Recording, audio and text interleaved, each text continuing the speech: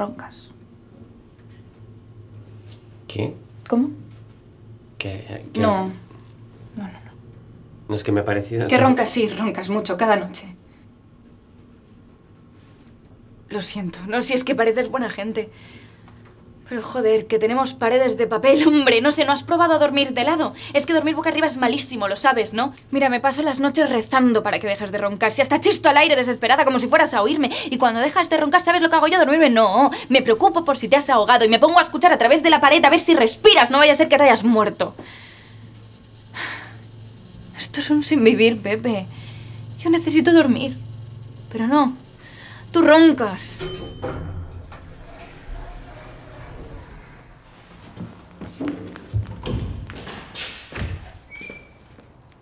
Tú cantas mal.